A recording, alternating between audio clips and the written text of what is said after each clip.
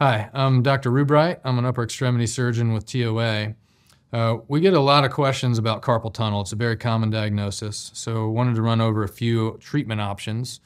Um, one of the first lines of defense is bracing, particularly at night. So with with carpal tunnel, the median nerve runs here at the wrist, um, and we want to to keep the wrist in a neutral position those hours when you're sleeping at night. So you're not folded up like this, kind of kinking the nerve, so to speak. So a simple brace you can get over the counter, or you can come see us. We can fit you with one just to wear at night.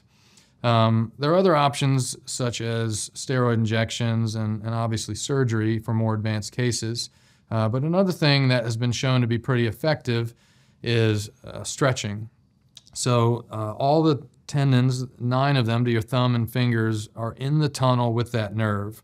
And so there's some logic to behind uh, keeping those those muscles in the hand and, and tendons stretched uh, to try and you know make more room for that nerve. And so uh, a simple thing you can do is, is, make sure you're getting those tendons stretched all the way out into extension.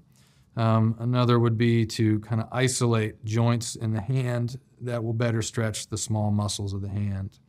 Um, you can probably find some information online, but we have a, a, full team of hand therapists here at TOA who'd be more than happy to see you and give you some some pointers.